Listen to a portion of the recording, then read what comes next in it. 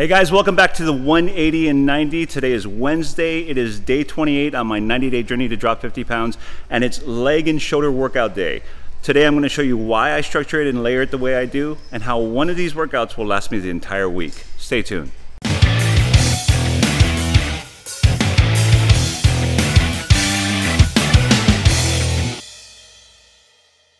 Okay, guys, well, thanks for tuning in and staying with us for another 180 and 90. Today is my legs, glutes, and shoulders day, and it's always a tough day, and it's one of my favorite actually. Whenever I start off on this, I'm always going to start off with my internal and external rotations of the rotator cuff right here with the cables, and it's important that I do so because I have that injury in my right rotator cuff area. It inhibits certain movements, and I need to really work on it to make sure that I open it up, I get that mobility back, and I strengthen so I'm able to go and, and do the presses that I need and full range of motion in order to get the shoulders um, stronger and work them in all the many myriad of ways and angles and get full mobility back into there. Now, I start off with that because it allows me to then really warm them up, work through some of the scar tissue, and get them ready for all the rest of the shoulder presses and raises. And I superset this with traditional squats. Now, very important on the squats. Gotta love them. They're amazing. Not only are they great for your glutes and your legs and your quads and your hamstrings and everything else. They're amazing for your core as well too.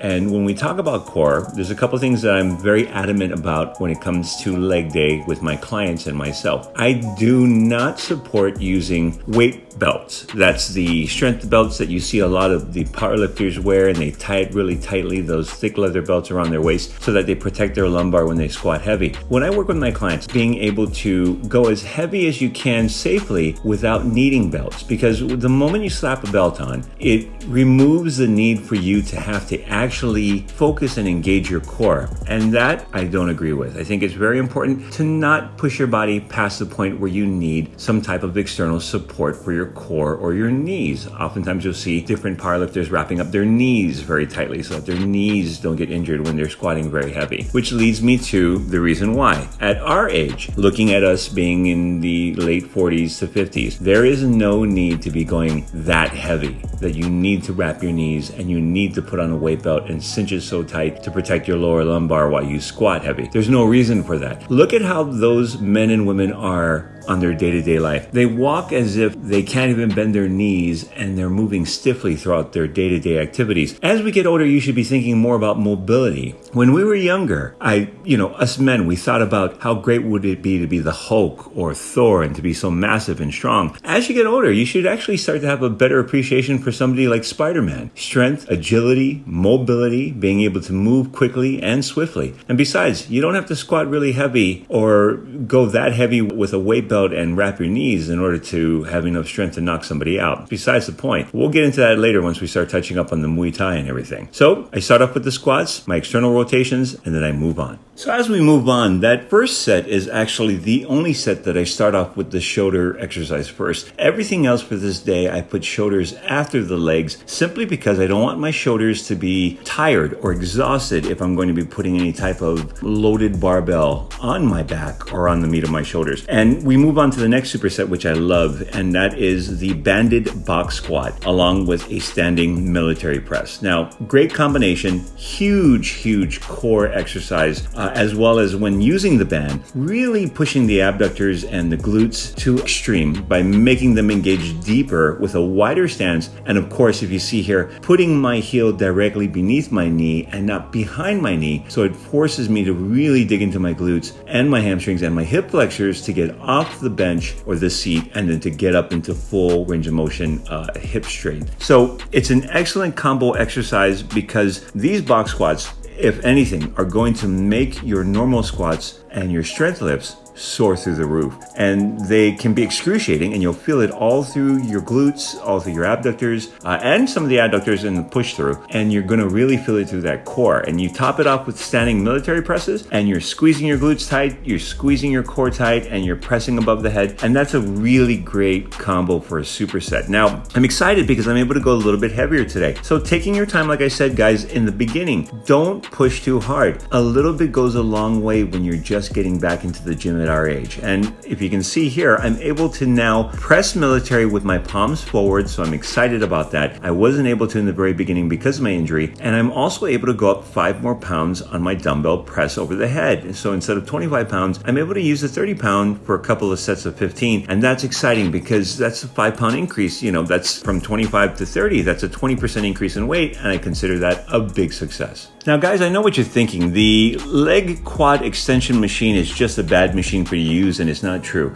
If you take two fingers and you can fit it between the back of your knee to the edge of the seat and it fits comfortably, you're going to be fine. It's not going to do any injury to your knee. And let me explain why. The leg extension machine has gotten a bad rap over the years, and a lot of magazines, different health and fitness magazines, will say, "Don't ever use this machine. Uh, it's bad for you. There's more injuries on this machine than any other machine or, or exercise equipment." And these, you know, these magazines are not exactly being truthful. They're, are they? Are they being accurate that it has caused a lot of injuries? Sure, but it's because people weren't trained on how to properly use it. Look, if you can fit two fingers from the back of the knee to the edge of the seat, then you've got enough space space that there isn't direct pressure on the patella or the knee itself. If you can wedge those two fingers, you've got space. Because take a look at it this way most people don't understand that. They, they put the seat back so far that the back of their knee is flush against that edge of the seat. And if you apply pressure toward the ankle in the opposite direction, well, guess what? You have pain and stress directly on your knee, directly on the patella, and that's when the injuries come into play. If you can fit two fingers between that space, there isn't isn't going to be direct pressure on the knee, and all the pressure will be where you want it, right on the quads and the supporting muscles around the knee.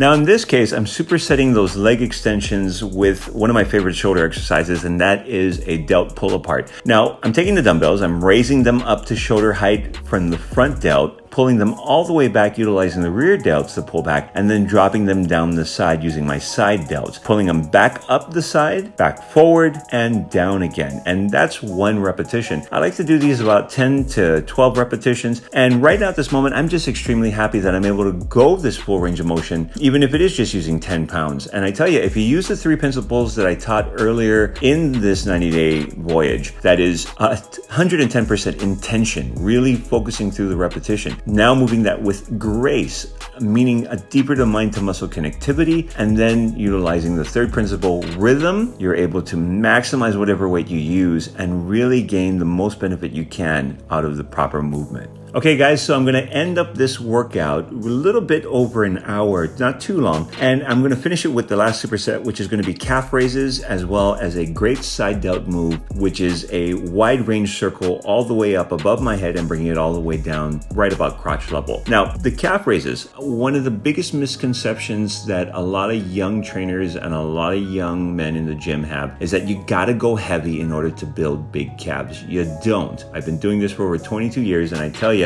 if you don't have heavy weight or the calf machine to be able to really put on that stress on the calves, you can do it in other ways. You can do it with massive repetitions and holding flexes for two to three to four seconds. Now, this is going to put the intensity that you need because since we're using our calves every day, they do have a huge resiliency. So you need to push them past their comfortable point. So it doesn't necessarily mean that you have to use heavy weight. You can use it by really flexing the muscles and holding the pose and doing high repetitions. Now, let me remind you this. If you want proof that you don't need heavy weight to build big calves, let me ask you this. Have you ever seen a cyclist with small calves? Never, right? They've got massively beautiful calves and they're not pushing heavy weight, but they're continually repetition, pushing that bike, working it through hills, working it through streets, and they all have beautiful calves. Now, with that, I finish off with that big side delt move uh, using the medial delt head and making big, massive circles. And truthfully, I forgot what the hell the name is of this exercise. And it's one of my favorite ones, but I've been teaching for so long and training people that literally I, I, I just tell my clients, okay, big circles, let's do it. But it is such a great exercise to end with, especially if my shoulders are really dead tired and I wanna focus more on my side delts to bring them out and broaden my shoulders. This is a great way to top it off. Now, oftentimes I like to finish with a rear delt, but since my rear delts still feel a little burnt, meaning in a good way from my back workout, I'm gonna finish with the medial, the side delt head so that I can work on building those broader shoulders. And this is a great way to end it. Hey guys, so thanks for joining in with us today for the 180 and 90. That's today's workout session. I did legs and shoulders today, and I hope you like the way that I layered it out for you and explained why I did what I did and how I'm doing it as far as approaching the next week's coming ahead. Now, uh, again, if you like what you've been seeing and what you've been hearing and it's been informative of you, please hit the like button. Uh, go ahead and subscribe to the channel if you haven't already subs uh, subscribed to us so that you can be on top of everything. And of course, hit that notification bell. That way you'll know every time we put up a new video video. Hope you have a great day. I'll see you tomorrow on the 180 and 90. Take care.